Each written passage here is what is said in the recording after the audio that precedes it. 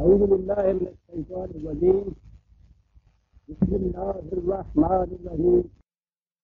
عزیزان ایمان آج اپریل انیس سو ستر کی پانچ تاریخ ہے اور درس قرآن کریم کا آغاز سورہ آل عمران کی آیت ایک سو اٹھاون سے ہوتا ہے۔ Three over one five eight آپ کو یاد ہوگا کہ سابقہ درس میں بات یہ سامنے آئی تھی کہ ایک لیڈر کی خصوصیات کیا ہونی چاہیے؟ وہ کیا چیزیں ہیں جن کی وجہ سے سپاہی اپنے کمانڈر پر جان چھڑکتے ہیں؟ اس کی حفاظت تو ایک طرف رہا۔ اس کی لاش تک کے لانے کے لیے اپنی جانیں قربان کر دیتے ہیں۔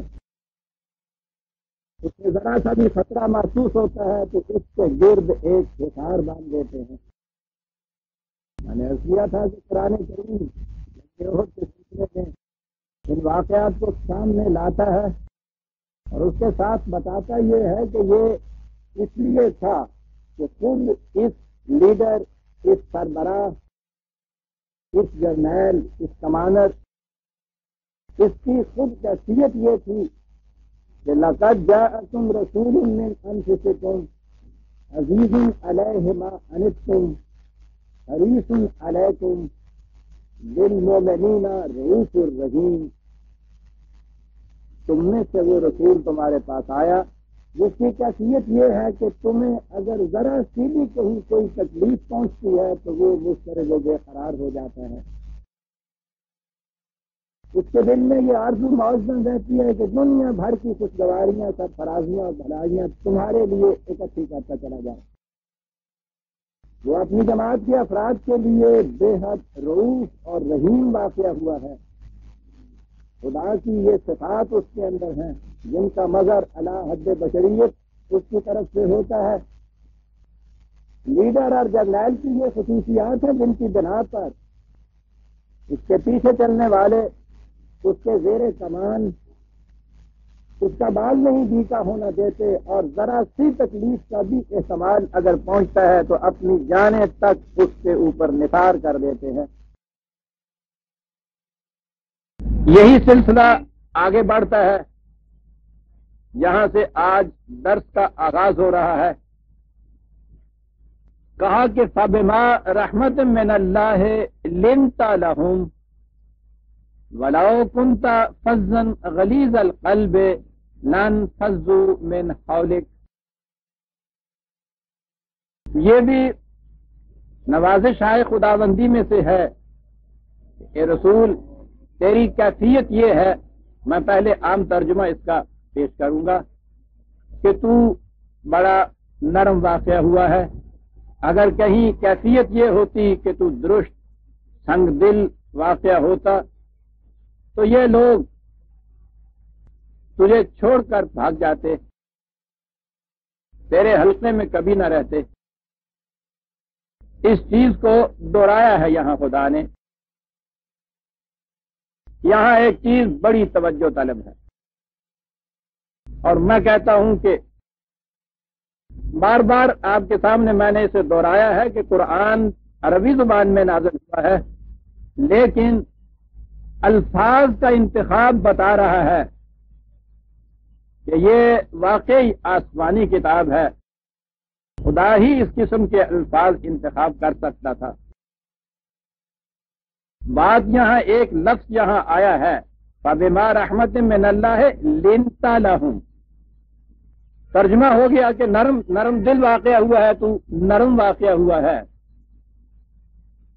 لیکن میں نے عرض کیا تھا کہ قرآن کے الفاظ سے یوں ہی آگے نہیں گزر، جانا چاہیے۔ تدبر، تفکر کا تقاضا یہ ہے کہ ایک ایک لفظ پہ کھڑے ہو کے انسان سوچے کہ یہاں یہی لفظ کیوں آیا ہے۔ ایک لفظ میں آپ دیکھیں گے کہ اسلام کی بنیادی تعلیم اس کے اندر آ گئی۔ آپ حیران ہوں گے کہ یہ ایک لفظ جس کے معنی نرم ہونا ہے، اس کے اندر بنیادی تعلیم آ رہی ہے۔ اور اس لیے بھی خاص طور پہ آ رہی ہے کہ یہ خصوصیت بتائی گئی ہے رسول اللہ صلی اللہ علیہ وسلم کی، لیڈر کی، جرنیل کی، سربراہ کی، ایک لفظ کے اندر نرم ہونا یہ بھی ایک خوبی ہے۔ لیکن ہر مقام پہ نرم ہونا زندگی تو اس طرح سے نہیں چل سکتی۔ عیسائیت نے یہی سوچا۔ گاڈ از مرسی۔ اور قدم قدم پر انہیں اس خدا کو چھوڑ دینا پڑا جس کے متعلق زبان سے کہتے گئے گاڈ از مرسی۔ گاڈ از مرسی کے معنی پھر یہ ہوئے کہ خدا کے نام لینا دینے والے بھی ان کو بہرحال ہر زندگی کے ہر گوشے میں، ہر موقع پر، ہر حادثے میں، ہر واقعہ میں مرسی ہونا چاہیے، رحم دل ہونا چاہیے۔ اور یہ جو آئے دن لڑائیاں ہوتی ہیں، جنگیں ہوتی ہیں، ساری تاریخ عیسائیت کی پٹی پڑی ہے۔ تنگ آ کر مجبور ہو کر پچھلی وار کے اندر ان کے ہاں عیسائیت کے سربراہوں نے یہ فتویٰ دینا پڑا کہ نہیں ایسے حالات پیدا ہو سکتے ہیں جن میں جنگ کرنا بھی ضروری ہو جاتا ہے۔ اس فتوے کے ماتحت یا جو کچھ یہ کرتے رہے، اس کے ماتحت وہ گاڈ از مرسی جو تھا، اس خدا کو تو چھوڑا دیا۔ ایک قوت والے خدا کا تصور پہ سامنے آیا۔ خود ان کی تاریخ یہ بتا رہی ہے کہ زبان سے بے شک وہ یہی کہتے رہے، لیکن قوت اور سختی کے بغیر چارہ ہے نہیں زندگی۔ زندگی کے ایسے گوشے آتے ہیں جہاں سخت ہونا پڑتا ہے۔ لیکن صرف سختی بھی ایسی چیز نہیں ہے کہ جس سے گزارا ہو جائے کہ ہر وقت، ہر آن، ہر گوشے، ہر حادثے میں انسان سختی ہوتا چلا جائے، نرم بھی ہونا پڑتا ہے۔ زندگی کی یہ دو بنیادی خصوصیتیں ہیں۔ ان کے لیے موقع اور محل کون سا ہو یہ چیز ہے دیکھنے کی۔ لیکن یہ نہیں ہے کہ ساری زندگی کے اندر، زندگی کے ہر گوشے کے اندر ایک ہی خصوصیت رہے گی۔ یا سختی رہے گی یا نرمی رہے گی۔ یہودیت زندگی کے ہر گوشے میں سختی کی تلقین کرنے والی۔ خدا کے ہاتھ میں آتشی کوڑا ہوتا تھا ان کے ہاں۔ وہاں مرسی، نرمی اس کا تصور ہی نہیں تھا۔ بالکل اس کا ریئیکشن تھا جو عیسائیت آئی ہے۔ اس نے خدا کو یکسر رحم اور مرسی قرار دیا۔ ہاتھی کوڑا اس کے ہاتھ سے چھین دیا نہ وہ چیز ایسی تھی کہ جس میں زندگی پنپ سکتی، نہ عیسائیت کا یہ تصور تھا کہ جس میں اس کی نمود ہو سکتی۔ یہ دونوں چیزیں ہونی ضروری ہیں۔ قرآن نے مختلف مقامات پر اس کے متعلق یہ کہا ہے۔ محمد الرسول اللہ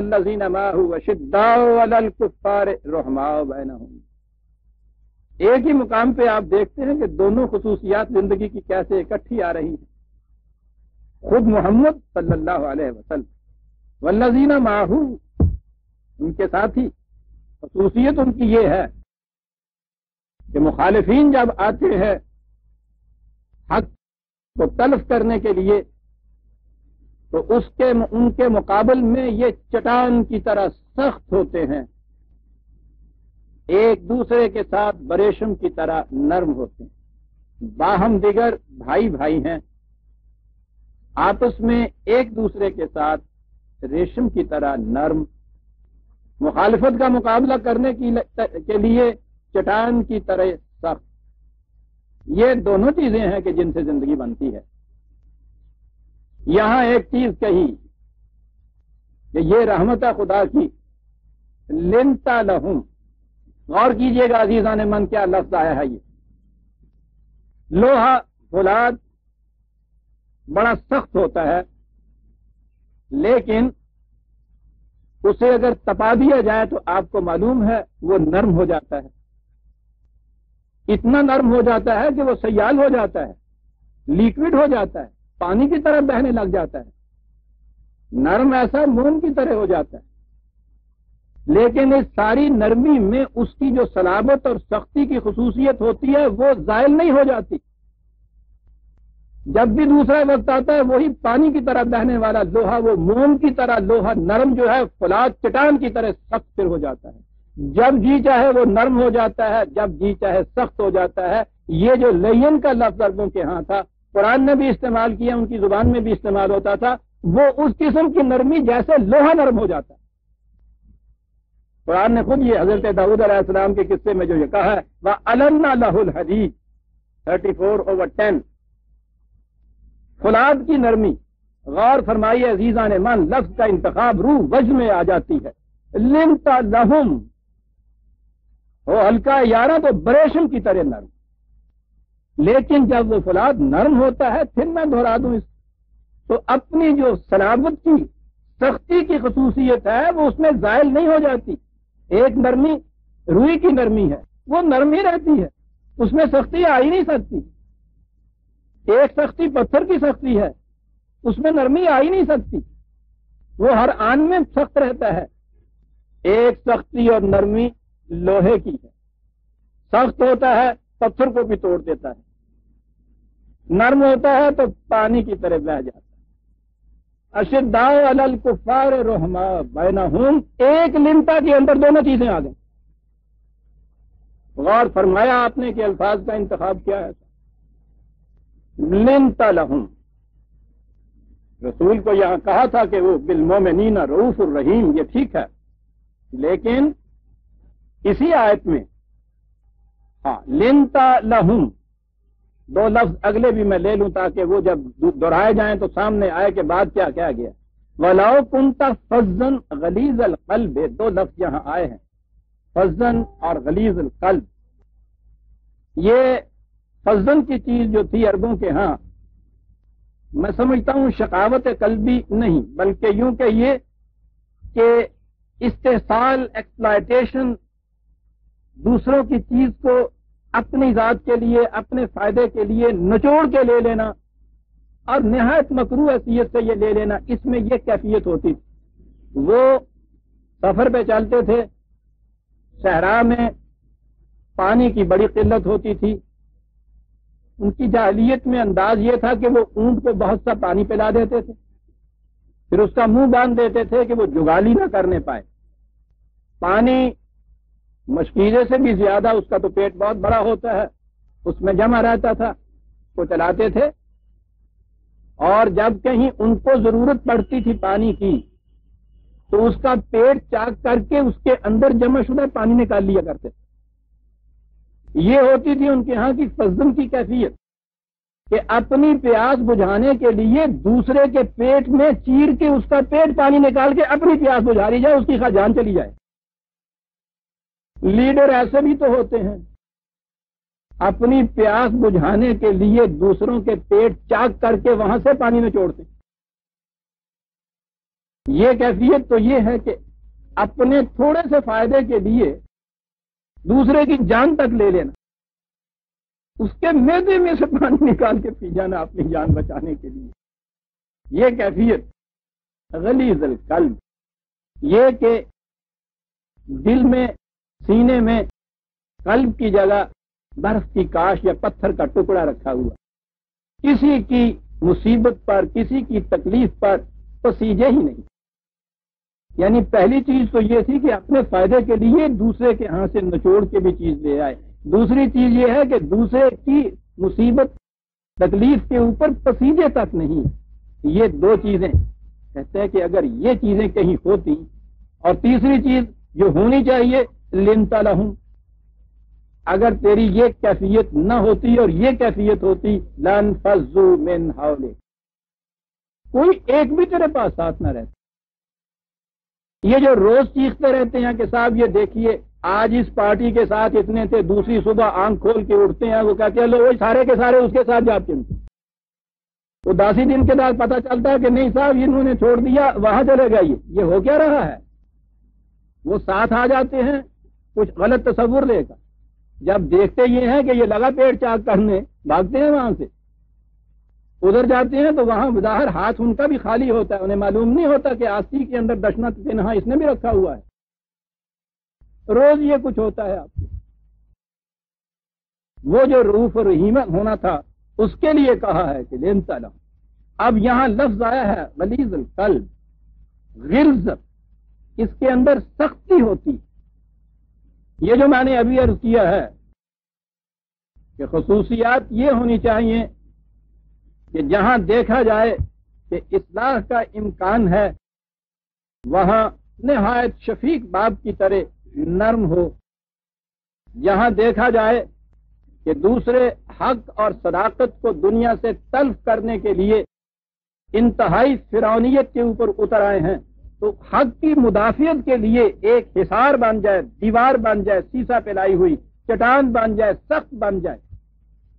یہی وہ چیز ہے جس کے لیے سورہ حدید میں قرآن نے کہا ہے کہ ہم نے رسول بھیجے، ان کے دلائل دیے، کتابیں دی و انزل نہ معاہم الحدید اور ان کے ساتھ شمشیر خارا شگاف بھی ہم نے نازل کی۔ اس لیے کہ اگر اس مقام پہ بھی وہ نرم کا نرم ہی رہتا ہے تو حق اور صداقت کی حفاظت ہو نہیں سکتی۔ یہی چیز تھی اقبال نے جو کہا تھا کہ حفاظت پھول کی ممکن نہیں ہے۔ اگر کانٹے میں ہو خوئے حریری، کانٹے کی سختی پھول کی حفاظت کے لیے ہوتی ہے۔ اگر وہ بھی گلاب کی پتیوں کی طرح نرمی رہے، تو پھول کی حفاظت کون کرے؟ کانٹے کی سختی مظلوم کے دل میں چبھنے کے لیے نہیں ہوتی۔ ظالم کے ہاتھ کو پھول تک پہنچنے سے روکنے کے لیے ہوتی ہے۔ لہذا یہاں جو کہا ہے کہ غلیظ القلب تو نہیں تھا، یہ یہاں اس مقام کے اوپر یہ چیز کہی ہے، جن کے لیے تو لنتا لہم تھا۔ ورنہ یہ نہیں کہ یہ سخت چٹان یا لوہے کی طرح کی سلابت اور سختی ہے، یہ تھی ہی نہیں۔ ہر موقع کے اوپر تو حریر کی طرح نرمی تھا۔ یہ کیفیت نہیں، یہ دیکھیے کہاں یہ چیزیں آئی ہیں۔ کہا یہ ہے، اسی صورت میں نائن اوور سیونٹی تھری نو بٹا تہتر، وہی نبی ہے۔ یا نبی جاہد الکفار والمنافقین۔ اے نبی، یہ سرکشی پہ اترے ہوئے لوگ، یا وہ منافق جو جماعت کے اندر آ کر جماعت کی بہتری کرنے کے لیے کرنے پر آمادہ رہتے ہیں، ان کے خلاف جہاد کر، اور وہی لفظ غلیظ القلب تھا نا، میں وہ لفظ لا رہا ہوں۔ واغلوز علیہم، شدت کے ساتھ ان کا مقابلہ کر۔ چٹان کی طرح ان کے مقابلے میں آ جا فلاد کی شمشیر بن جا یہاں آنے کے۔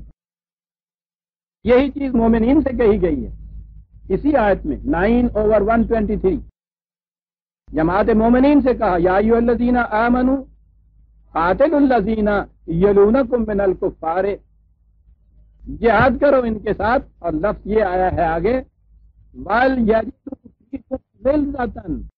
وہ تمہارے اندر سختی کو محسوس کر لیں کہ یوں ہی نہیں ان کو ہم کھا جائیں گے۔ انہیں معلوم ہو جائے آسان نہیں کٹانا نام و نشان وہی لفظ یہاں آیا ہے۔ لیلا نے مان وہ وہ پنجابی میں ہمارے ہاں کہا کرتے ہیں کہ پتھر پورے ہوں تو گدڑ کھا جان یعنی نرم ہوں۔ گدڑ بڑا ہی بزدل یہ جانور مشہور ہے۔ یہ تو پتھروں کی سختی ہے کہ وہ بچے رہتے ہیں، ورنہ باہر میں وہ عام جنگل میں پڑے ہوئے ہوتے ہیں۔ گیدڑ بھی عام ہوتے ہیں وہاں۔ بزدل ترین۔ وہ بچے ہوئے اس لیے ہوتے ہیں کہ وہ سخت ہوتے ہیں۔ ورنہ جو کوڑے ہوں تو گدڑ کھا جانا پتھر کو سخت ہونا پڑتا ہے۔ واغلوز علیہم، ان کے مقابلے میں چٹان کی طرح تمہیں سخت ہونا پڑے گا۔ آپ دیکھتے ہیں، دونوں چیزیں۔ رحما بہنا ہوں اسی صحابہ کے متعلق یہ کہا گیا ہے۔ اسی جماعت مومنین کے متعلق۔ اسی کے متعلق یہ کہا گیا ہے کہ واغلوز علیہم۔ اب سوال یہ موقع کا ہے، محل کا ہے، کہاں کس صفت کا ظہور ہونا چاہیے؟ اور جو میں نے کہا تھا کہ قرآن سے اگر آپ نے سمجھنا ہو، یہ چیز کہ کہاں کس قسم کا قانون نافذ کرنا چاہیے، کہاں کس قسم کا ہمارا انداز ہونا چاہیے، تو قرآن میں یہ دیکھیے کس مقام پر خدا کی کس صفت کا ذکر آیا ہے۔ اگر وہ کہیں غفور الرحیم ہے، تو دوسری جگہ الجبار المتکبر بھی اس کو کہا گیا۔ اگر کہیں اس کو علیم کہا گیا ہے، دوسرے مقام کے اوپر شدید الرقاب بھی اس کو کہا گیا۔ کہاں کہا گیا ہے یہ چیزیں سامنے آ جائیں گی تو آپ کو معلوم ہو جائے گا کہ زندگی کے کس مقام پر اشدا ہونا کی ضرورت ہے، کون سے مقام ہے جہاں رحما ہونے کی ضرورت ہے۔ اور یہ جتنی چیزیں آپ کو باطل کی نظر آتی ہیں، اپنی تاریخ میں یا دوسروں کی تاریخ میں تاریخ میں، وہ یہ ہے کہ جس مقام کے اوپر رحما ہونا ہے، وہاں اشدا ہو رہے ہیں۔ جہاں اشدا ہونا ہے، وہاں روئی سے بھی زیادہ نرمی برتے ہوئے چلے جاتے ہیں۔ ہو جا کخ مسیح اتنے نہ یہ کیفیت ہو جاتی ہے۔ یہ آپس میں جو آپ کے ہاں روز یہ چیزیں ہو رہی ہیں، مار دو، چلا دو زبانوں کو گدیوں سے نکال لو گریلا جنگ پہ اتر آؤ، مقابلے میں رضاکار تنظیمیں بنا لو، یہ روحماؤ بینا ہوں والے لوگ ہیں، یہ آپس میں تو یہ کچھ کر رہے ہیں۔ اور دشمن مقابلے میں وہاں کھڑا ہے، اس کے خلاف ان میں سے ایک شخص بھی میدان جنگ میں نہیں کیا تھا، سن پینسٹھ۔ جہاں شدہ ہونے کی ضرورت تھی، وہاں رحما کی کیفیت تھی۔ یہاں رحما ہونے کی ضرورت ہے، وہاں شدہ کی ضرورت خصوصیات تو دونوں ہی ہیں، تو فرق صرف اتنا ہی ہے کہ سانپوں کو دودھ پلا رہے ہیں، بچوں کو سنکھیا دے رہے ہیں۔ دوسری چیز یہ دیکھنے کی ہے، کہا کہ لنتا لہم، یہ وہ ہیں جن کے متعلق قرآن کریم نے مختلف مقامات پر حضور کے رفقا کا اور حضور کا جو باہمی تعلق تھا، اسے بتایا ہے۔ اور بہت بڑا نمونہ ہے ہمارے لیے۔ اور کون سا انداز عزیز سے نبی اکم صلی اللہ علیہ وسلم کا اور صحابہ کے بار کا جو آنے والوں کے لیے نمونہ نہیں ہو سکتا؟ ایک لیڈر کی جو شان ہے، اس کے لیے کیفیت اندازہ لگائیے، الفاظ کیا آ رہے ہیں۔ وقت وقت جناح کا للمومنین ففٹین اوور ایٹی ایٹ پندرہ بٹا اٹھاسی۔ آہا، کیا لفظ ہے؟ آپ نے دیکھا ہے مرغی اپنے چھوٹے چھوٹے چوزوں کو لیے، سارے دانا دن کا کھلاتی پھرتی ہے، اس کو ساتھ لیے لیے پھرتی ہے۔ چیل کا سایہ اگر زمین پہ پڑتا ہے تو وہ سارے پرندوں کو اپنے پروں کے نیچے سمیٹ لیتی ہے حفاظت کے لیے۔ وقت جناح کا۔ اپنے پروں کو ان کے اوپر۔ یہ ہے کیفیت خطرے کے وقت آپ وہ بھاگ نہیں جاتی۔ حالانکہ یہ جبلی فطرت ہے۔ انسٹنگ کا تقاضا ہے پرزرویشن آف سیلف اپنی جان بچانا۔ اور یہ حیوانات اور پرندے تو چلتے ہی انسٹنٹ کے اوپر ہیں۔ لیکن اس کی کیفیت یہ ہوتی ہے کہ اپنی جان بچانے کے لیے وہاں سے نہیں بھاگتی، اپنے بچوں کو پروں کے نیچے چپک کے بیٹھ جاتی۔ ان کی حفاظت اپنی جان سے مقدم سمجھتی ہے۔ یہ ہونی چاہیے لیڈر کی شان عزیز علیمان وقف جناح کل مومنین کہیں دوسری جگہ یہ کہا گیا ہے کہ رسول ان سے دیکھنا کبھی بے اتنائی نہ برتنا ان کے ساتھ۔ کیوں یہ کچھ کرنا ان کے لیے؟ کیا محض اس لیے کہ یہ کوئی معذ اللہ یتیم خانہ کھول رکھا تھا جس کے لیے آپ سے کہا گیا بار بار کہ نرمی برتو، یہ کچھ نہ کرو؟ بات یہ نہیں عزیزہ نے اس نظام میں یہ جن کی حفاظت مقصود ہے، جن کی پرورش مقصود ہے ان کا مقام یہ ہے کہ ہوزی ایدا کا بے نسر ہی و بل بو میں اے رسول، خدا نے تیری مدد کی، تیری تقویت کا سامان بہم پہنچایا اپنی طرف سے مدد دے کر، اور یہ جماعت جو تیرے ساتھ ہے، اس کی بنا پر۔ یہ جماعت رسول کی تقویت کا موجب۔ یہ تو تھا ایٹ اوور سکسٹی ٹو اب اسی کے ساتھ ہی یہ آیات بڑی اہم ہے یعنی خدا کی نصرت اور ان کی رفاقت۔ کہا، اس سے تیری تیری تقویت کا موجب یہ دو چیزیں ہیں۔ اس کے بعد باہم ان کا تعلق کیا ہے۔ وہ اللہ سا بینا قلوبہم ہی ان کی باہمی کیفیت یہ ہے کہ ان کے دل ایک دوسرے سے جڑے ہوئے ہیں۔ یہ جو جماعتی حیثیت سے آتے ہیں تو یہ نہیں کہ محض موچی دروازے باہر ایک جلسہ ہو گیا زندہ باد کی تقریر بھی سن لے مرد آباد کی تقریر بھی سن لے چل کپڑا چاڑ کے کر دوں گا کسی نے کیا آج بڑا سواد آیا۔ دوے نے کیا نہیں، کل بڑا سواد آیا۔ بیٹھے ہوئے ہیں لاکھ کی تعداد میں۔ تاسو بہم جمیم و قلوب بہم شتا۔ قرآن کہتا ہے۔ تو دیکھے گا جیسے جماعتی زندگی بسر کر رہے ہیں، ایک دوسرے کے ساتھ جڑے ہوئے ہیں، بیٹھے ہوئے تو ہیں قلوب بہم شت دل ایک دوسرے سے الگ الگ۔ یہاں کہا ہے کہ وہ اللہ کا بینا قلوب ہی دل جڑے ہوئے ہیں ایک دوسرے کے ساتھ۔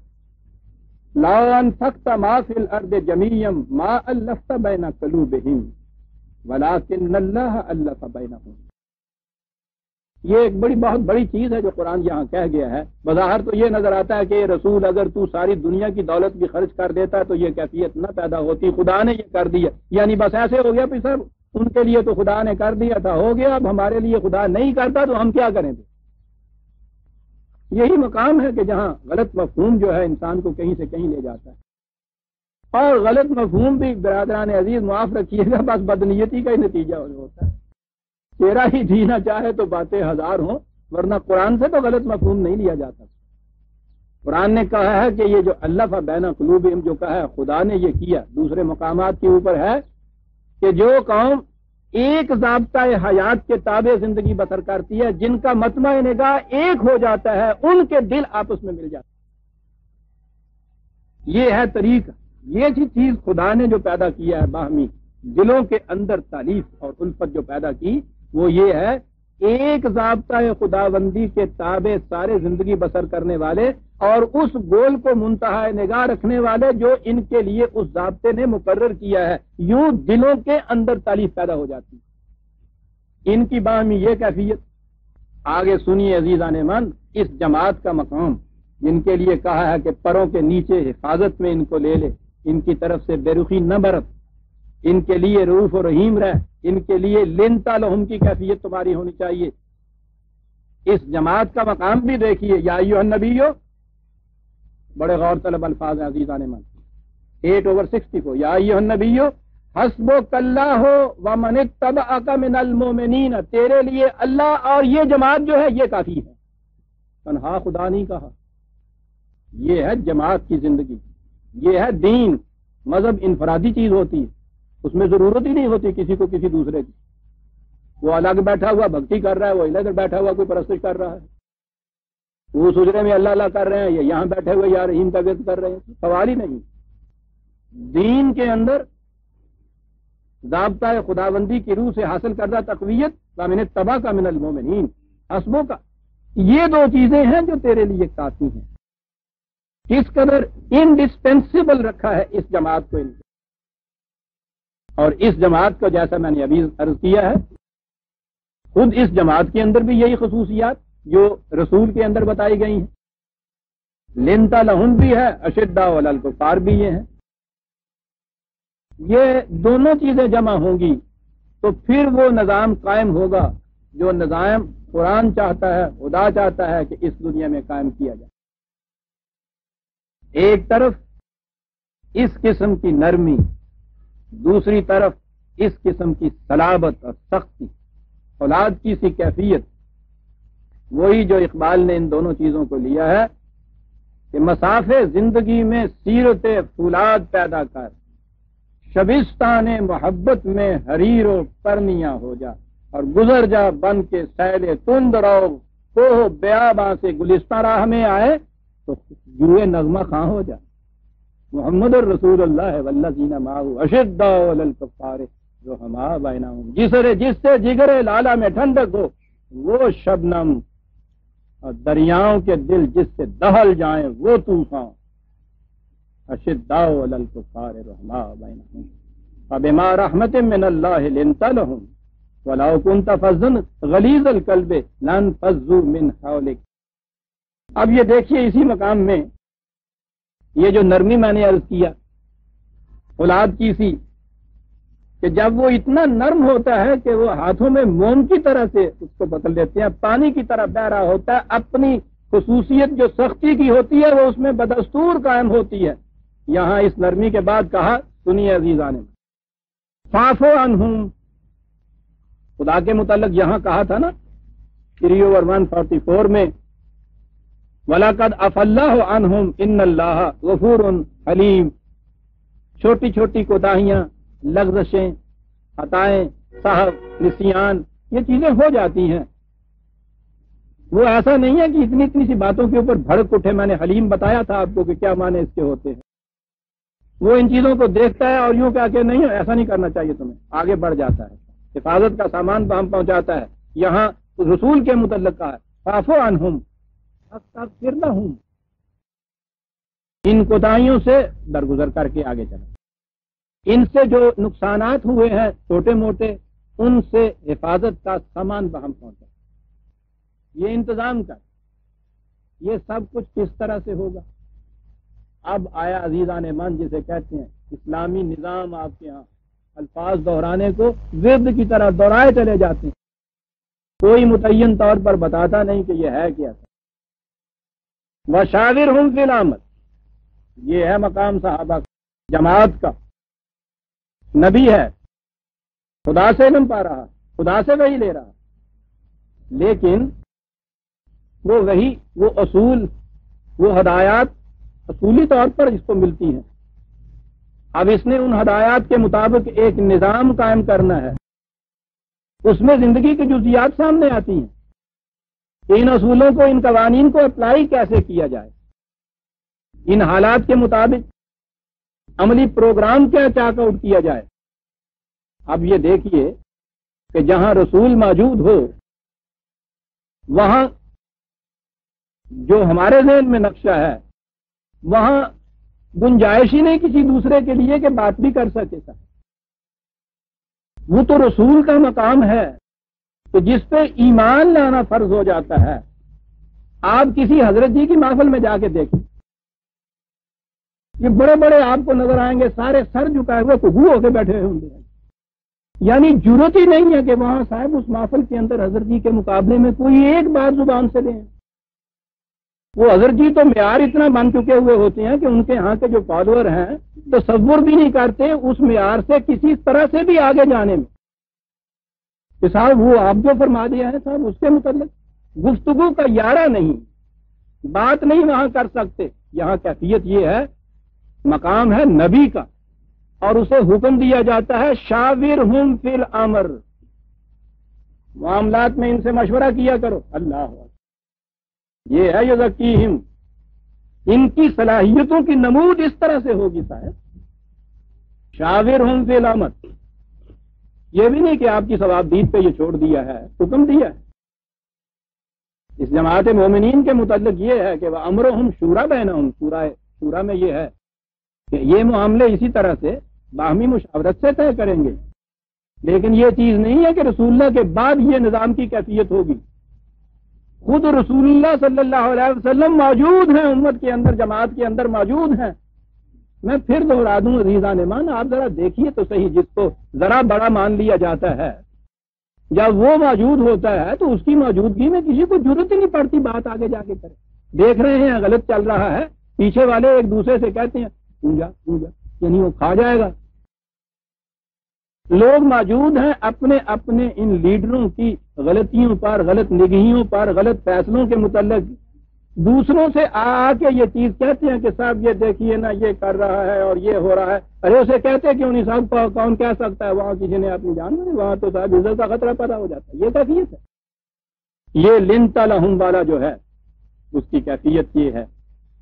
شاور ہوں فل یہ ہے عزیزان من، وہ نظام مشاورت اسلام نے جو قائم کیا تھا، جسے آج جمہوریت کہہ کر حق کو باطل سے بدل دیا جاتا ہے۔ جمہوریت کا تصور خالص مغرب کا تصور ہے۔ اس جمہوریت کے معنی یہ ہیں کہ ہر معاملہ ان نمائندگان کے سامنے پیش کیا جائے، اگر ان کو نمائندہ کہا جائے تو۔ ورنہ آپ کو تو معلوم ہے جس طرح سے وہ نمائندہ ان کی نمائندگی کر رہا ہوتا ہے۔ یعنی کارخانے کے جتنے مزدور ہیں، ان کا نمائندہ کارخانے کا مالک۔ باندر بول رکھ والا، تو انہوں نے نمائندگی کرنے جا کے اور پھر یہ جو جمع ہو جائے، ان کے بعد ان کا فیصلہ کس طرح، حق کسے کہا جائے گا؟ ففٹی ون کی ووٹ جس کی طرف ہو جائے۔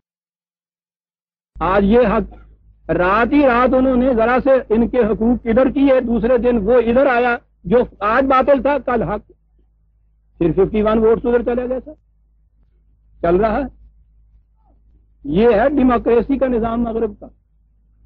حق اور باطل کے لیے کوئی معیار انٹرنزک نہیں ہے۔ کوئی حقیقی معیار، غیر متبدل اصول نہیں ہے کوئی کہ اس کے مطابق جو فیصلہ ہے وہ حق، جو اس کے خلاف جاتا ہے وہ باطل۔ حق اور باطل کا معیار جب یہ ہو جائے کہ حق اپنے مقام پہ حق ہے، وہ تو جس دن رسول اللہ صلی اللہ علیہ وسلم نے پہلے دن آ کے آواز دی تھی، جب کوئی دوسرا سیکنڈ کرنے والا بھی نہیں تھا آج کے الفاظ میں، حق اس دن بھی حق تھا۔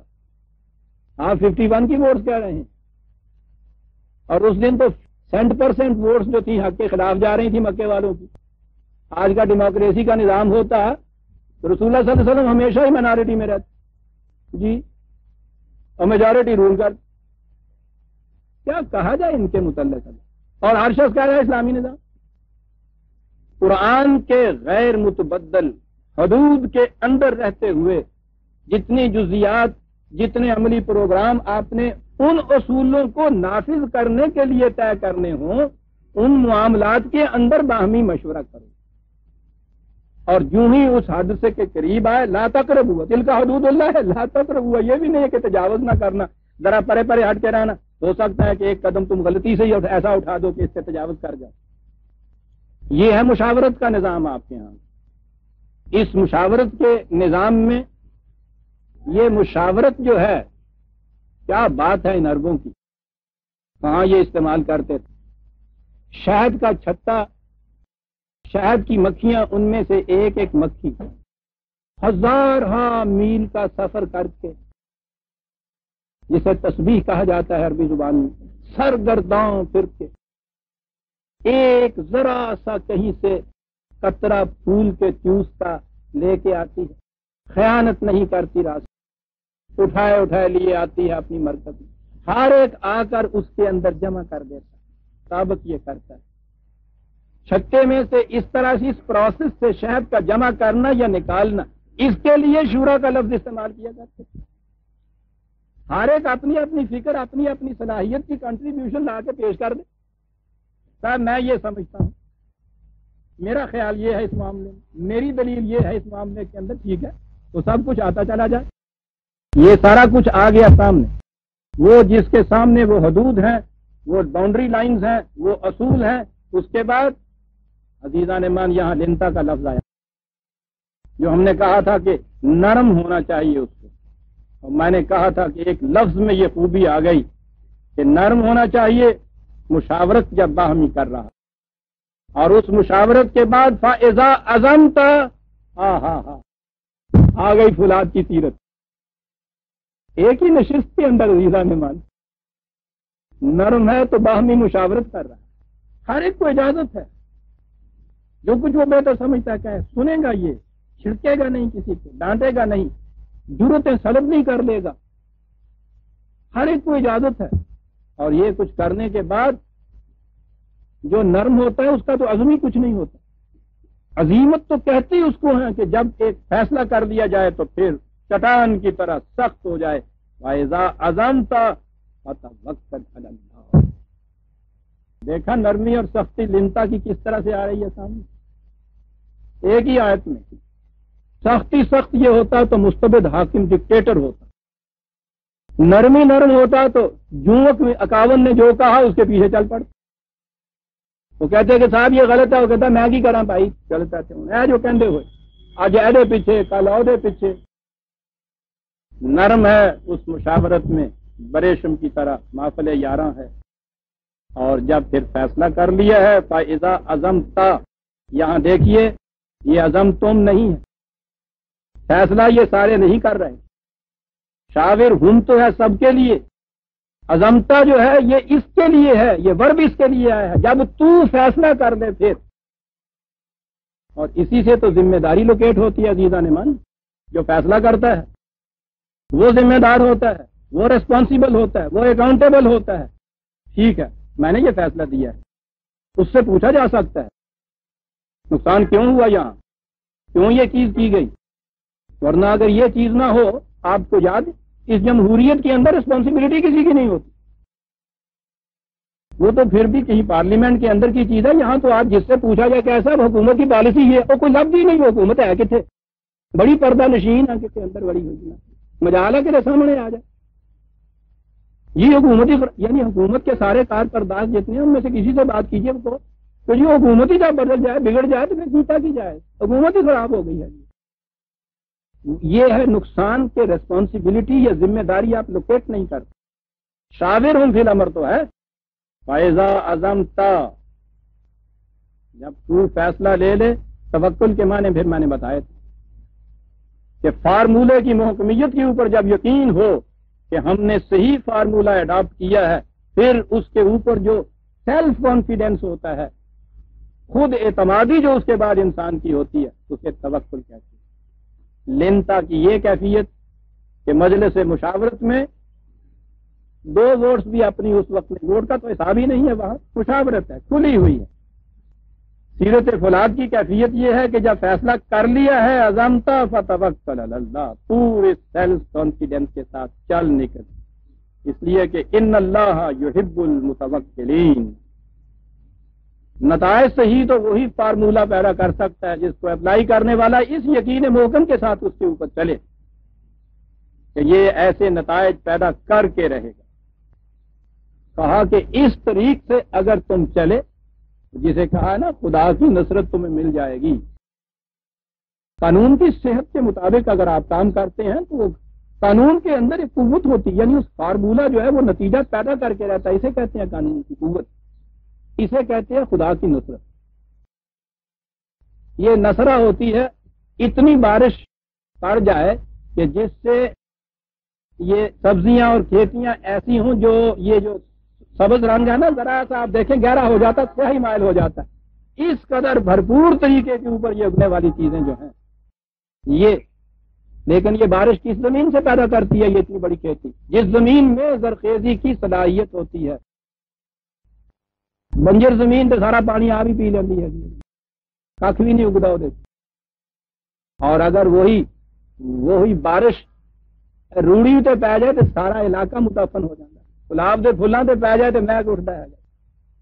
بارش تو یکساں ہی آتی ہے آسمان سے۔ سوال آگے یہ ہے کہ وہ زمین کس قسم کی اپنے اندر جذب کرتی ہے۔ یہ ہے انسان کا ایمان اور قوت عمل جس کو زمین کہا گیا۔ ہے ان ینسر کو ملے ہو فلاح والے بالکم اس انداز سے نصرت الہی جب تمہیں ملے گی۔ یہ سارا طریقہ بتا دیا۔ قانون کی پابندی۔ وہ جو ایک لیڈر ہے، اس کی یہ شان۔ خطرے کے وقت پروں کے نیچے لینے والا۔ ان کی کیفیت یہ کہ وہ خطرے کے اندر ہے تو جانے نچھاور کر دینے والے۔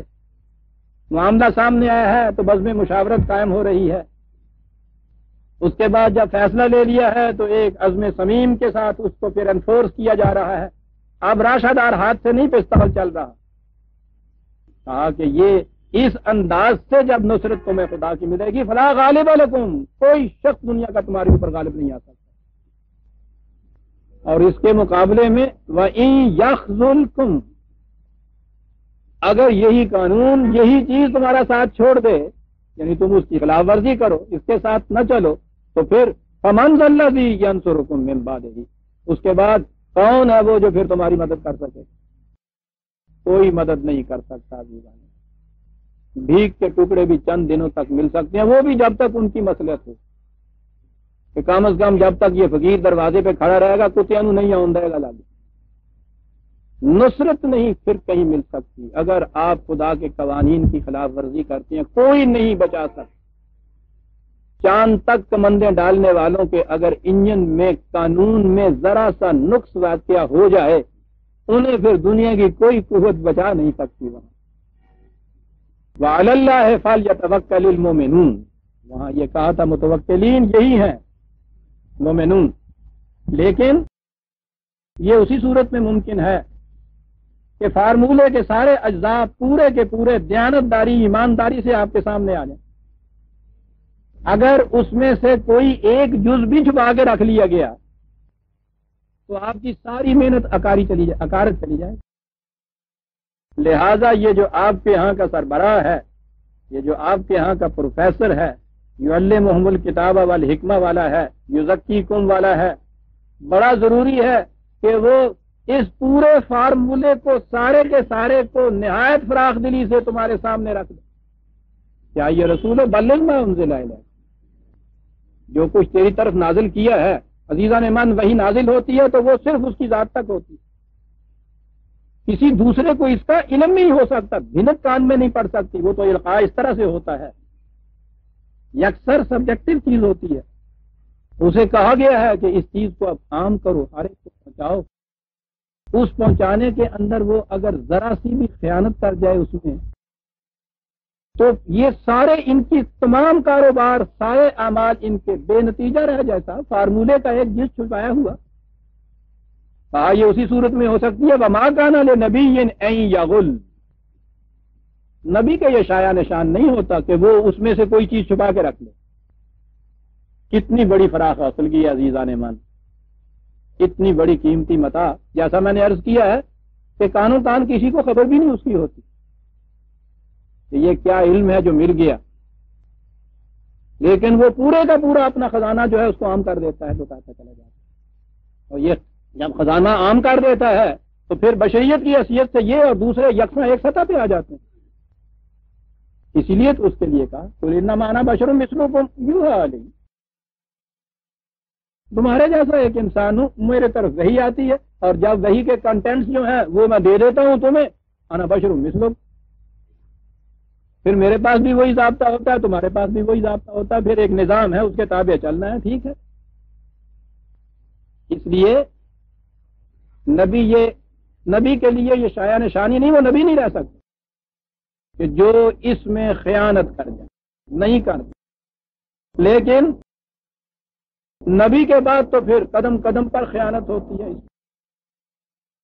اس لیے آگے کہا ہوا میں یا غلول یا غلہ یوم القیام کوئی بات نہیں، جو پھر اس میں خیانت کر کے کچھ چھپا کے رکھ لیتا ہے۔ میں نے عرض کیا تھا کہ یہ قیامت اور ساتھ اور یہ چیزیں جو ہیں، جب وہ مقام آئیں گے تو میں ان کے متعلق عرض کروں گا۔ اب تو اتنا ہی سمجھ لیجیے کہ یہ چیز چھپی نہیں رہ سکے گی۔ نمایاں ہو کے رہے گی اور وہ تو ہو جاتی ہے۔ فارمولے کے مطابق آپ کام کریں، اس میں کوئی چیز چھپا کے رکھی ہوئی ہو، نتیجہ خود بتا دے گا کہ نہیں صاحب، صحیح صحیح فارمولہ سامنے نہیں آیا۔ یہ ہزار برس سے آپ کے ساتھ کیا ہو رہا ہے؟ امال کی حیثیت سے یہ قوم اب بھی مذہب پرست قوموں میں سب سے زیادہ، سب سے زیادہ سختی سے پابند ہوتی ہے اپنے ان ارکان پہ جسے کہا جاتا ہے۔ کوئی مذاق نہیں ہے۔ مئی جون کی تپتپاتی ہوئی گرمیوں کے اندر اٹھارہ اٹھارہ گھنٹے مزدور روزہ رکھتا ہے۔ اس چلچلاتی دھوپ کے اندر سر پہ ویٹیں اٹھا کے اوپر اور نیچے چل رہا ہوتا ہے۔ پانی کا قطرہ منہ میں نہیں جاتا۔ آسان کام نہیں ہے کہ پابندیاں نماز کی۔ دولت میں سے بھی کچھ دینا، حج کے لیے چلنا سنتیں برداشت کرنا۔ اور بھی جتنی چیزیں آپ کے یہاں کی یہ وصول کرتے ہیں۔ امال کے اعتبار سے تو یہ کیفیت، لیکن حالت دن بدن آپ کی سکیم سے سکیم تر ہوتی چلی جاتی۔ پھر آپ کو فریب دے دیا جاتا ہے کہ جی روحانیت آپ کی بڑھ رہی ہے، ٹھیک ہے۔ جتنی جسمانیت کم ہوتی جاتی ہے، سکڑتا چلا جاتا ہے، روحانیت بڑھ جاتی ہے، پھر ایک دن سارا جسم ختم ہو جاتا ہے روح ہی روح رہ جاتی ہے، وہ پور کر کے اٹھ جاتی ہے، اللہ ان کی نہ خدا ہی ملا نہ روحانیت بدن رہی ہوئی تو خدے زوف نال جو کچھ آتا انہوں کہتے ہیں کہ کہ یہ مقرر ہو گیا۔ ہوں خدا یہ کیا ہے؟ اور کیا کیا کے بلائیں، کیا کیا کے فریب دیں عزیزان من بات ساری یہ ہے۔ اس فارمولے کے نسخے میں سے چھپایا ہوا۔ خیانت کی ہوئی ہے اس کے اندر۔ اور اجزاء میں لائے ہوئے ہیں اس کے اندر۔ کیسے وہ نتیجہ نکلائے؟ گا اور یہ چیز بات کی نہیں، بڑے فخر سے بیان ہو رہا ہے۔ بخاری شریف کی حدیث کہ حضرت ابو حرار رضی اللہ تعالیٰ عنہ نے فرمایا، سب سے زیادہ حدیثیں ان کی طرف سے مروی۔ انہوں نے فرمایا کہ مجھے رسول اللہ صلی اللہ علیہ وسلم نے دو برتن دیے۔ دونوں بند۔ ایک برتن کا منہ تو میں نے کھول دیا ہے۔ اور اگر دوسرے برتن کا منہ کھول دوں تو اس کے بعد آپ نے اشارے سے کہا۔ تو گلا کٹ جائے۔ اندازہ لگائیے، وہ بند کا بند ہی رکھ۔ اگر ففٹی پرسینٹ بھی اس میں تھا، تو ففٹی پرسینٹ یہ غل تو یہاں ہو گیا نا آپ کے یہاں، کہ آدھا ہی ملا۔ وہ آدھا کہاں چلا گیا؟ وہ سینہ بسینہ منتقل ہوتا چلا رہا۔ وہ باطنی علم، وہ عوام کے سامنے لوگوں کے سامنے کھولا نہیں جا سکتا۔ وہ علم وہ ہے کہ جو یہ حضرت صاحب یہ خدا سے براہ راز پاتے ہیں، چپکے سے سینے میں ہوتا ہے، چپکے سے منتقل کر دیا جاتا ہے۔ یہ ایک پورا برتن بھرا ہوا۔ یہ سارا بات نہیں اس کے بعد چلا رہا ہے آپ کے یہاں اور وہ جو تھا برتن اتفاق سے بقول مولانا روم کے جو مغز تھا، وہ اس برتن میں تھا، اس دوسرے میں ہڈیاں ہی تھیں۔ کہتے ہیں منظر کو رہا، مغزرہ برداشت۔ اس تو خاں پیشے سگاؤ تھا اور رفتہ رفتہ تو اس کے بعد یہ جسے دوسرا آپ برتن کہہ رہے ہیں، اس کی بھی کیفیت یہ رہ گئی کہ وہ محض تلاوت کے لیے رہ گیا آپ کے یہاں نسخے میں وہ جو چند اجزاء اس کے تھے، وہ بھی بیکار سمجھ لیے گئے۔ ان کو دہراتے رہا کرو، کاغذوں پہ لکھتے رہا کرو، گھول کے پیتے رہا کرو۔ سمجھنا، سوچنا بھی اس کے لیے اگر ہو تو تم سمجھ سوچ بھی نہیں سکتے۔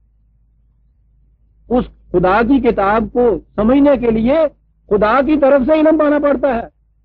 اندازہ لگائیے۔ کتاب میں لکھوں تو میری کتاب کو سمجھنے کے لیے میرے پاس آنا پڑے گا، مجھ سے سیکھنا پڑے گا صاحب یہ چیز۔ یہ ہے وہ جو چھپایا ہوا علم ہوتا ہے۔ پہلے دن سے آپ کے یہاں یہ روایتیں چلی ہیں۔ اور سارا سلسلہ آپ کے یہاں روحانیت کا اسی کے اوپر قائم ہے۔ کہ یہ چیزیں نہیں یعنی پھر ان کی ضرورتیں ملازہ فرماؤ کہ خود رسول اللہ صلی اللہ علیہ وسلم بھی یہ چیزیں جو تھیں، یہ عام نہیں دے کے گئے تھے، جن کے متعلق قرآن یہ کہتا کہ بلغ ماں ان اور اگر تم نے نہ پہنچایا تو تم نے منصب رسالت جو ہے اس پہ تم پورے نہیں اترے۔ یہ کہہ رہے ہیں خدا۔ میں یغلول جاتے بما غلہ یوم القیام سما توفا کلو نفس ما کسبت وهم لا یظلمون پھر وہاں یہ کیفیت ہوگی ہر فیصلہ عمل کے مطابق ہوگا۔ یہ عقیدت مندیاں وہاں کچھ کام نہیں دیں گی۔ یہ ایک ناقص فارمولے کو، جھوٹے فارمولے کو سچا سمجھ کے، سینے کے ساتھ لگا کے، اس کے مطابق عمل کرتے چلے جانا، کرتے چلے جانا۔ سمجھنا یہ کہ یہی مقصود اور یہی مفہوم تھا۔ میں صحیح کچھ کر رہا ہوں۔ کہتا ٹھیک ہے، جب تک تم اپنے آپ کو فریب دینا چاہتے ہو دے لو۔ دوسروں کو فریب دینا چاہتے ہو دیتے چلے جاؤ۔ جب نتائج نکلیں گے تو اس وقت تو بات صاف سامنے آ جائے گی کہ یہ سارے کام اس فارمولے کے مطابق تو نہیں ہوئی یہ تو چیز قرآن کے مطابق نہیں ہوئی۔ نتائج بتا دیں گے۔ بول یا کام ہے ملو علامہ سے تم انی عام فتافت عالم۔ تم اپنے پروگرام کے مطابق کام کرو، مجھے اپنے پروگرام کے مطابق کام کرنے نتائج خود بتا دیں گے کہ حق و صداقت کس کے ساتھ ہے۔ ہزار برس کے آپ کے اعمال کے نتائج بتا رہے ہیں نا عزیزہ نے من آپ کو۔ کس چیز پہ عمل ہو رہا ہے؟ نسخہ آپ کے سامنے نہیں پیش کیا جا رہا۔ ہے موجود۔ قدم قدم پہ الجھاؤ۔ جب کہا جائے کہ صاحب، یہ قرآن جو ہے، بہر حال خدا کی ایک مکمل کتاب ہے۔ سند اور حجت و دلیل اب دین میں یہی ہے۔ اس میں کوئی اختلاف نہیں ہے۔ یعنی وہ اس کی طرف سے شبہات لوگوں کے دلوں کے اندر وساوس پیدا کرنے کی جو مہم ہے یہ بھی کہہ دیا جائے تو یہ تو ضرورت نہیں ہوتی کہنے کی کہ نہیں صاحب، یہ مکمل نہیں ہے سب کچھ۔ اختلاف نہیں اس میں۔ کہتے صاحب، اس کی انٹرپریٹیشن میں بڑے اختلاف آتے صاحب۔ یعنی وہ کہتے دھڑلے سے یہ ہیں کہ کوئی چیز اب ہے ہی نہیں ہمارے پاس کہ جو اختلافی نہ ہو، جو سند اور حجت قرار پا سکے۔ قرآن پہ ہی آتے تھے نا تم۔ اور قرآن کی بات اس قرآن کہنے والے سے ایسے کہتے ہیں جیسے یہ اس کا قرآن ہوتا ہے۔ ان کا کوئی تعلق اس سے نہیں۔ اور اس میں اتنے نقص نکالتے ہیں، اتنے ایب نکالتے ہیں اس کے اندر اور بڑے خوش ہوتے ہیں اس سے۔ عزیزہ نے مان، یہ سب کچھ کر کے دیکھ لیا اس قوم نے، ہزار برس سے۔ اگر یہ فی الحقیقت زندہ قوموں کی صف میں کام از کام آنا چاہتی ہے، وہ مقام بلند تو آگے جا کے آئے گا۔ ایک ہی طریقہ ہے۔ صحیح فارمولہ جو دیا تھا اس خدا نے جو قرآن کی دفتین کے اندر محفوظ ہے۔ بے غلوغش بغیر آمیزش کے اس کے اندر محفوظ ہے خالص اس فارمولے کے مطابق عمل کیا جائے گا، پھر نتائج وہ مرتب ہوں گے جو اس دور میں مرتب ہوئے تھے۔ ورنہ جو جی میں آئے آپ کر کے دیکھ لیجیے گا، کبھی کسی طرح سے بھی وہ نتائج مرتب نہیں ہو سکتے۔ فارمولے کے سارے اجزاء بین ہی وہی ہونے چاہیے جی یہ ہے وہ چیز، افمن تبا ردوان اللہ کمن با اب سخت من اللہ جہنم۔ ایک وہ ہے، اب یہ پھر آ گیا رضوان اللہ کا لفظ۔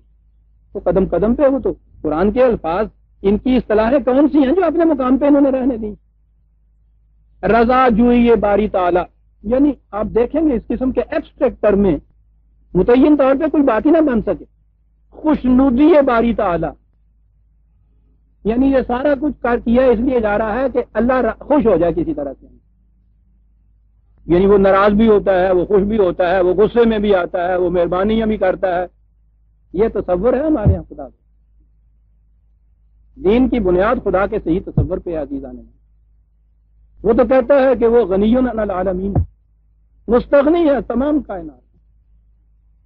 یہ تو دنیا کے بادشاہ ہوتے ہیں جن کو اس کی احتیاج ہوتی ہے۔ کہ لوگ ان کی ہاں میں ہاں بھریں، ان کی مرضی کے مطابق کام کریں۔ ان کی خوشنودی حاصل، ان کا مقصد ہوتا ہے اس کی خوشنودی حاصل کرنا۔ وہ خوشنودی سے پھر وہ پوچھے نہیں ذرو جواہر لوٹاتا ہے، سب کچھ بخشتا ہے۔ تصور یہ آ گیا، جب یہ تصور آ جائے تو پھر قانون کی بات بیچ میں سے نکل جاتی۔ جب سوال کسی کو خوشی کرنا ہے تو قاعدہ قانون تو اس میں ہوتا ہی نہیں ہے۔ رضوان مرضات رضی اللہ تعالیٰ عنہ وغیرہ جتنے الفاظ یہ آتے ہیں، اس کے معنی ہو گئے۔ وہ اللہ سے راضی ہو گئے، اللہ ان سے راضی ہو گیا، انہوں نے خدا کو خوش کر دیا انہوں خدا نے ان کو خوش کر دیا۔ خوش کرنے کا مسئلہ یہ تھا سوال یہ نہیں۔ اس کے معنی ہوتے ہیں رضوان رضیہ کے معنی ہوتے ہیں کسی چیز کے ساتھ ہم آہنگ ہو جانا۔ جو خدا کے قوانین کے ساتھ ہم آہنگ ہو گیا۔ اطاعت ایک چیز ہے جس سے یہ ہوتا ہے انسان۔ لیکن اطاعت اس انداز کی ہو، پورے دل کی رضامندی کی، جس میں قرآن نے کہا ہے کہ پھر اپنے دل میں بھی وہ گرانی محسوس نہیں کرتے۔ یہ جو عطایت کا درجہ ہوتا ہے، اسے ہم اہنگ ہو جانا ہوتا ہے، کہتے ہیں یکسر ہم نگہی، ہم اہنگی، یک رنگی اس کے ساتھ۔ یہ جسے کہتے ہیں خدا کے رنگ میں رنگا گیا۔ اور یہاں آپ کو پتا ہے خدا کے رنگ میں رنگے ہوئے کون ہوتے ہیں؟ وہ جڑی گودڑی پائی ہوئی ہوں نا انہوں نے ایک ایک ٹاکی کا رنگ وکھرا وکھرا ہوں لو خدا دے رنگ چ رنگی نہیں ہوں ڈبی نال ڈبی نہیں ملتی عزیزہ نے من ردوان من اللہ عوانی نے خدا بندی کے ساتھ کامل ہم آہنگی یکجہتی اللہ حد بشریت صفات خدا بندی قوانی خدا بندی یہ جو ہو کیا وہ کہتا ہے کہ وہ اس جیسا ہوگا با آب سخت من اللہ وہاں رضوان کے معنی خوشنودی ہوئی اور سخت جو ہے اس کے معنی پھر ناراضگی ہو گئی صاحب۔ یہ سخت من اللہ جو ہے، یہ الفاظ بھی مختلف مقامات پہ قرآن میں آئے غضب بھی کے الفاظ آئے ہیں، سخت کے الفاظ آئے ہیں۔ میں نے عرض کیا ہے نا کہ بات ساری یہ ہے کہ بہرحال قرآن کریم اترا تو انسانوں کی زبان کے اندر ہے، الفاظ تو وہی آئیں گے۔ پہلے تو یہ ہے کہ مادے کے اعتبار سے محاورہ عرب میں دیکھیے کہ الفاظ وہ کس طرح استعمال کرتے تھے۔ پھر دیکھیے کہ قرآن نے ان الفاظ کو کس طرح سے استعمال کیا۔ یہ forty seven over twenty eight. میں نے کہا ہے کہ یہ بات قرآن کے قوانین یا اس کی تعلیم کی اتباع یا اطاعت کرنا اور اس سے سرکشی برتنا، یہ ہے مفہوم اس کا۔ اس کے مطابق چلنا یہ ہے جسے رضوان اللہ کہا جائے گا، اس کی، اس سے برخلاف جانا، اس کے خلاف ورزی کرنا، یہ ہے کہ جس کا نتیجہ جسے آپ سخت کرتے دیکھیے قرآن میں کیا کہا ظالے کا بینا تبا ما اسخت اللہ و کرے ہوں رضوانہ۔ ہوں یہ اس لیے کہ یہ اتباع کرتے ہیں ان چیزوں کا۔ دیکھیے اتباع کی بات ہے۔ پیچھے پیچھے چلتے ہیں ان چیزوں کی۔ یہ وہ چیزیں جو خدا کی طرف سے نازل کردہ نہیں ہے دو ایک ہی آیت اوپر دیکھیے، چھبیس میں۔ ظالے کا بے انا ہوں کالو لذین کرے ہوں ماں نزل اللہ ہو تنتی فی باز یہ ناپسند کرتے ہیں اس کو جو خدا نے نازل کیا ہے۔ اور اتباع کرتے ہیں اس چیز کا کہ جس سے سخت اللہ جو ہے وہ وارد ہو جاتی ہے۔ بات تو سخت ہے، بے نہیں ماں نزل اللہ جو ہے اس سے کراہت برتی جائے۔ اس کے خلاف جو کچھ بھی ہے، اس کا اتباع کیا جائے۔ یہ ہے وہ چیز جس کا نتیجہ آپ کے الفاظ آپ کے ہاں ہیں۔ کیا ہوتا ہے اس کا نتیجہ؟ جس کو ہم نے کہا کہ خدا کی ناراضگی یا اس کا غضب یا اس کا غصہ ہمارے الفاظ میں۔ ہوتا کیا ہے وہ؟ خدا کا غصہ اور ناراضگی نہیں۔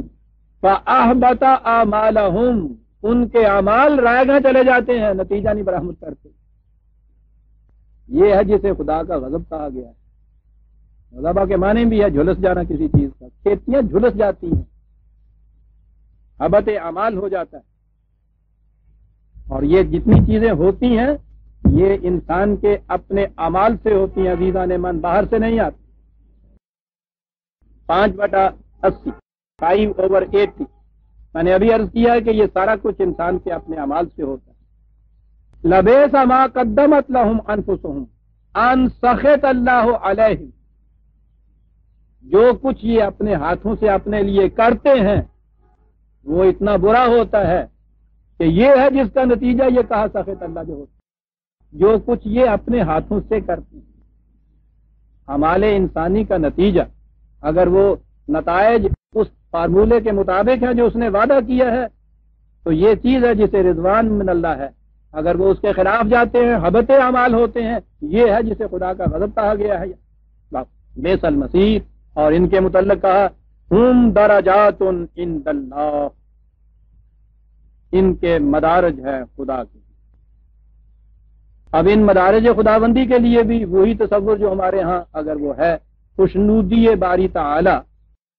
اس کا حصول اور اس کے حصول کے پھر ان کے اپنے اپنے طریقے۔ تو اس میں تو یہ ہے کہ تم کچھ کرتے چلے جاؤ۔ وہ اگر اس سے راضی ہو گیا تو تمہارے مرتبے بلند کر دے گا۔ وہ اگر راضی نہ ہوا جو جی میں آئے تم کرتے رہو۔ یہ جتنی بھی دنیاوی بادشاہتیں ہوتی ہیں وہ کام ہوتے ہیں، ان کی کیفیت یہی ہوتی ہے۔ نا تو خوش ہو گئے تو بخش دیتے پنڈ دے پنڈ بخش دیتے انہوں نے۔ ناراض ہو گئے تو کان بچا کان کر دیتا انہوں نے۔ نہ یہ معلوم کہ خوش کیسے کیا جائے، نہ یہ معلوم ناراضگی کس طرح سے ہوتی ہے۔ مزاج شاہ ہمارے ہاں یہ کہتے ہیں، بولے بادشاہ۔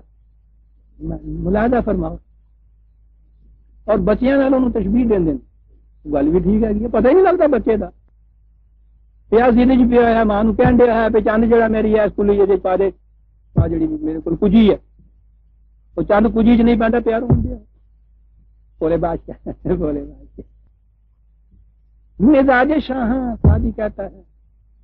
گاہے بسلام بے رنجن۔ گاہے بدشنام خلط بخشن، مزاج ہے کبھی ان کو گالی دیجیے، خلط بخش دیتے۔ کبھی سلام کیجیے، کان بچا، کان کر چھوڑ مزاج ہے اوتھے کی پرواہ راکب، اوتھے بے پرواہیاں مار مہاراج رنجیت سنگھ۔ اوتھے بے پرواہیاں فر لے، عملہ والے چڑ دے، اوگن ہار اللہ اس سے مدد ترجمہ کیتا جاتا اللہ بے پرواہ کیا کر یہ ہے وہ یغل کا نتیجہ عزیزہ نے من وہ جو چھپا کے رکھ لیا ہوا ہے۔ یہ اس کے نتیجے ہیں۔ پتہ نہیں کیا تھا کیا کیا ہمیں اس کے نام پہ دے دیا جاتا ہے۔ ہم دراجات ان اللہ۔ Six over one thirty three عزیزہ نے مان چھ بٹا ایک سو تینتیس۔ والے کل دراجات مما املو وما ربو کا بےغافل اما یا ملون ہر ایک کے مدارج اس کے کاموں کے اعتبار سے مرتب ہوتے ہیں۔ البتہ مرتب کرنے والا جو خدا ہے، اس کی کیفیت یہ ہے، اس کی نگاہوں سے کسی کا کام اوجل نہیں رہتا۔ یہ نہیں ہوتا کہ وہ کچھ کر رہا ہے، اچھے کام اور یہ اس کو پتہ ہی نہ چلے۔ اور وہ جھوٹی سی آئی ڈی کی رپورٹ سے ہی فیصلے کر رہا پھرتا لیکن اندر جا تم مما ہمیں ہر ایک کے مدارج اس کے امال کے مطابق مرتب۔ کیا نظام ہوگا یہ عزیزان جس میں کیفیت یہ ہو کہ وہ ماں ربوں کا بے غافل اس دنیا کے نظام عزیزہ نے من کہ جس میں جو کچھ کوئی کرتا ہے، اس کی صحیح صحیح خبر ہے، وہاں جہاں ان چیزوں کے متعلق فیصلے ہونے ہیں۔ اور پھر دوسرا اصول یہ ہے کہ ہر ایک کے مقامات، ہر ایک کے منصب، ہر ایک کے مدارج، اس کے کام جو ہے اس کے اعتبار سے اور میرٹ متعین ہوتے چلے۔ ان دراجات ان اللہ جو میں نے کہا تھا، یہ یہ میں نے اس کی تفسیر قرآن سے کی ہے، وہ کیا تھا؟ یہی نہیں کہ یوں ہی جس کے جی چاہے درجے متعین کر دیے لیکن ان دراجات ان مما ہمیں ولاقت کرم نہ بنی آدم۔ ہر انسانی بچہ انسان ہونے کی جیس سے تو واجب التقریب اس کی تزلیل نہیں کی جا سکتی۔ لیکن مقام جو ہے معاشرے کے اندر مدارت جو ہے وہ اس کے پھر جوہر ذاتی اور امال کی بنا پر متعین کیے جائیں۔ اور نظام یہ ہو کہ بابا ربو کا بےغافل اما یا ملون باقی یار یہ کہ صاحب وہ خوش ہو جائے تو یہ کہا کہا وہ ربو کل غنی رحمت ہم تو مستغنی ہیں اس چیزوں سے۔ ہم پہ نہیں کچھ اس کا ہوتا تم کیا کرتے ہو کیا نہیں کرتے ہم مستغنی ہیں۔ ہاں ہاں۔ ہن درجات ان اللہ۔ پھر ان کے ہاں کی زبان اور قرآن کے الفاظ سامنے آ جاتے ہیں۔ غور کیجیے یہ درجات کا لفظ ان کے یہاں دو لفظ تھے، درجات، درکات۔ سیڑھی عزیزہ نے من ایک ہی ہوتی ہے۔ اسی سیڑھی سے پستی سے بلندی پہ بھی چڑھ جاتا ہے۔ اسی سے بلندیوں سے پستی پہ بھی آگے یہ تو سوال اس حرکت کرنے والے کا ہے۔ یہ اوپر کی طرف حرکت کرتا ہے تو وہی سیڑھی اس کو بلندیوں کی طرف لے جاتی ہے۔ یہ حرکت نیچے کی طرف کرتا ہے، وہی زندگی کی سیڑھی جو ہے اس کو پستیوں تک لے جاتی ہے۔ وہی اس کے ڈنڈے ہوتے ہیں، وہی اس کے وہ سیڑھی ہوتی ہے۔ عربوں کے ہاں یہ ڈنڈے وہی ہوتے ہیں۔ جب وہ اوپر جا رہا ہوتا ہے تو وہ ان ڈنڈوں کو اس وقت درجات کہتے ہیں۔ اور جب وہ نیچے اترتا ہے تو انہی ڈنڈوں کو درکات کہتے ہیں۔ منافق جو در کے اسفل میں کہا ہے نا، کیا زبان ہے نیچے اترنے اور اوپر چڑھنے کی یہاں سیڑھیاں الگ الگ نہیں ہوتی ہیں دینا جی۔ ایک ہی زندگی کا میدان ہوتا ہے۔ ایک ہی وہاں پروگرام ہوتا ہے۔ ایک شخص اس میں ایک نیت سے کچھ کرتا ہے، دوسرا دوسری نیت سے کچھ کر رہا ہو وہ پوڑیاں دے ڈنڈے ہوتا چڑھن دیا ہے ہوں وہ ڈنڈے تھلے اتر دیا ہے لہم درجات ان اللہ۔ پھر میں وہ دوہرا دوں کہ دو سیڑھیاں نہیں ہوتی، ایک ہی اپرچونٹی آتی ہے دونوں کے سامنے۔ ایک ہی تلوار ہوتی ہے ظالم کے ہاتھ میں بھی اور مجاہد کے ہاتھ میں بھی۔ وہی دولت ہوتی ہے، سرمایہ دار کے ہاتھ میں بھی۔ وہی دولت ہوتی ہے اس کے ہاتھ میں جس نے رب العالمین بننا ہے۔ ایک ہی سیڑھی ہوتی ہے۔ سوال یہ اترنے اور چڑھنے والے کا ہے کہ وہ کس طرف چڑھتا ہے دو الگ الگ سیڑھیاں نہیں ہوتی یہ اتنے چڑھنے واسطے تھلے اترنے واسطے۔ وہ تو سردار جی کا غسل خانہ سردار جی نے کوٹھی بنوائی نہیں تو انہیں سمجھا پی اتنے ہاؤس ہونے چاہیے آگے نے۔ انہیں دیکھا تو تین ہاؤس بنوائے ہوئے سن۔ دکھاؤ واسطے لے گئے دوستوں کہنے لگے جی بڑا اچھا کیتا، تین ہاؤس بنا کہنے لگے جی ہاؤس کی ہے؟ کہنے لگا جی یہ گرم پانی ہوئے گا۔ گرم چ نہاؤ جی کرے تو یہ نہاؤ اچھا جی۔ کہنے لگا ادھر جہاں ہے کہنے لگا جی یہ ٹھنڈا پانی ہوئے گا۔ جدو ٹھنڈے پانی نہاؤ جی کرے تو ادھر یہ نہاؤ گئے تو دو ہو گئے تیسرا کی ہے؟ کہنے لگا یہ سکا رہے گا جدھر نہ نہاؤ جی کرے۔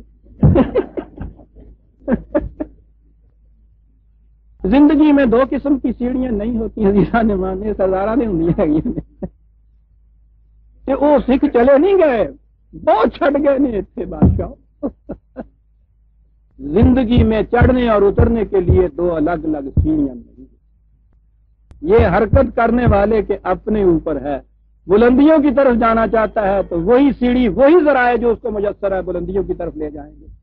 پستیوں کی طرف آنا چاہتا ہے تو وہی ذرائع اس کو پستیوں کی طرف لے آئے ہوم درجات ان اللہ۔ بات بس اتنی ہے راز کی کہ ولہ ہو بصیرم بما یا وہ چاہیے کہ جو دیکھ رہا۔ صحیح اور غلط نظام کا بڑا راز اس پہ ہے، دار و مدار اس پہ ہے عزیزان من۔ فیصلہ کرنے والے بصیرم بما یا ملون ہیں یا یہ جو گناگار پستے ہیں، اب کو صداقت کے اوپر رہنے والے شکنجوں میں جکڑے جاتے ہیں۔ وہ تو کبھی ہوتا ہے اس قسم کی چیز جو ہم نے کہی کہ گاہے بسنامے برنجن، ورنہ اکثر و بیشتر ہوتا اسی طرح سے ہے۔ فیصلہ کرنے والا جو ہے بصیرم بے ما یا ملون اس کی یہ مشینری غلط ہے۔ اس کو ہم غیر ذمہ دار نہیں قرار دے سکتے۔ وہ یہ کہہ دے کہ مجھے کیا پتا مجھے کیا اس کا علم ہے۔ کہا تھا نا، حضرت عمر جیسے باریک بھی نے اتنا بڑا سربراہ تاریخ میں جس کی نظیر نہیں ملتی عزیزہ نے آج تیرہ چودہ سو سال کے عرصے کے بعد بھی تاریخ میں نظیر نہیں ملتی اس کی۔ لیکن اس نے بتایا تھا کہ مجھے پھر خلافت کا راز کس نے بتایا؟ شام کے میدانوں میں جب واپس آئے ہیں، وہاں ایک رات ڈیرا ڈالا۔ عادت تھی وسیلوں بے یا مدون ہونے کے لیے ان کاگنیٹو جا کے خود دروازوں پہ کھڑے ہو کے سنا کرتے تھے کہ بات کیا ہو رہی جنگل میں تنہا ایک جھونپڑی کے اندر گڑیا ایک تھی۔ وہ بھی اندھی اس سے جا کے پوچھا مائی کیا حال ہے تمہارا؟ نے کہا تمہیں کیا میرے حال؟ جسے میرے حال کے متعلق علم ہونا چاہیے، اسے ہی معلوم نہیں ہے، تو میں تمہیں کیا بتاؤں؟ اس نے کہا کہ مائی، کس کے متعلق کہہ رہی ہو؟ کہنے لگے وہ کہ جس نے یہ دعویٰ کیا تھا، میری مملکت میں اگر دجلہ کے کنارے کتا بھی بھوک سے مر جائے گا، تو مجھ پہ ذمہ داری عائد ہوتی ہے، اس کی طرف اشارہ کر رہی ہوں۔ کہ مائی، خلیفہ کے متعلق کہہ رہی ہوں اسی متعلق کہہ رہی ہوں۔ کہنے لگی کہ تم نے اپنے دکھ کو، درد کو، پریشانیوں کو خلیفہ تک پہنچایا ہے۔ اس نے کہا کہ یہ میرا ذمہ نہیں ہے۔ اور اگلا اس کا فکرہ تھا کہ اگر اس کا انتظام نہیں ہے کہ وہ ہر فرد کے متعلق سے یہ اطلاعات اس کو پہنچتی رہے اس کو ملتی رہے وہ حاصل کرے، تو خدا بصیر کا نمائندہ کس طرح بن سکتا ہے؟ بصیر عمر کا باقی حصہ جب یاد آتا تھا تو جاتے تھے، کہتے تھے کہ خلافت کا مفہوم اس بڑھیا نے مجھے سمجھایا یہ میرا کام نہیں، یہ اس کا کام کہ وہ معلوم کرے کہ کس پہ کیا گزر رہی ہے۔ وہ اگر ایسا انتظام نہیں کر سکتا تو خدا بصیر کا نمائندہ کیسے کہنا اللہ۔ قرآن نے یہ چیزیں پیدا کی ہوئی تھی اسی کے زمانے میں اس خیمے کے اندر جب سوتے وقت وہ مائی نے بیٹی سے کہا کہ بیٹا، وہ دودھ آیا ہے، دو کے آ گیا نا ہاں اس کو چولہے پہ رکھ دینا۔ اور آپ کو پتا ہے کہ وہ تھوڑا سا پانی اس میں ڈال دیتی ہیں اور عام طور پہ اس میں ڈال دیتی ہیں، تاکہ وہ آگ پہ سے جتنا جلنا ہو، پانی جلے تو دودھ ویسا رہ جائے۔ تو اس نے کہا کہ بیٹی، آگ پہ وہ دودھ رکھ دینا چولہے پہ اور اس میں پانی آدھا گلاس ڈال دینا۔ اس نے کہا کہ امی، دودھ تو میں رکھ دوں گی چولہے کے اوپر، پانی نہیں ڈالوں گی۔ اس نے کہا، کیا ہوا، پانی نہیں ڈالوں گی؟ اس نے کہا کہ آج ہی خلیفہ نے کہا تھا کہ دودھ میں پانی ڈالنا بڑا جرم ہے۔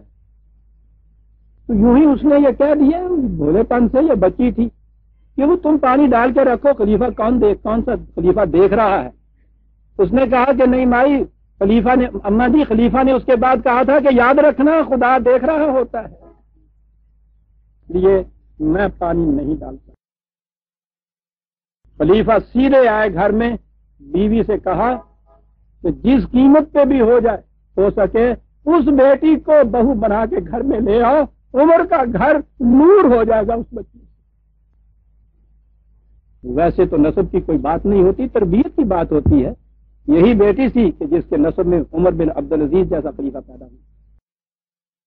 واللہ بصیر بما یا ملون عزیزان من، یہ خدا ہی کی صفات نہیں، خدا بیان کر رہا۔ بیان کر رہا ہے کہ جو خدا کے نام کے اوپر یہاں حکومت قائم کرنے والے ہیں، جن کو یہ دعویٰ ہے، حکومت خدا بندی قائم کریں گے، نظام اس کا قائم کریں گے، یہ ساری صفات اللہ حد بشریت ان کے اندر ہونی چاہیے، پھر یہ نظم و نسق انسانی زندگی کا ویسے چلے گا جیسا خدا کی کائنات میں اس کا چلتا ہے۔ پھر کہا جائے گا کہ تیری بادشاہت جو آسمانوں پہ ہے، وہ زمین پر بھی آ جائے۔ اس کے سوا کوئی دوسرا طریق نہیں آتی واللہ بصیر بے سورہ آل عمران کی آیت ایک سو باسٹھ تک ہم آ اور اس کے بعد پھر بتائیں گے جو خدا نے کہا ہے کہ کتنا بڑا احسان ہم نے تمہارے اوپر کیا جو یہ چیزیں تمہیں دے دی ربنا تقبل منا انك انت السميع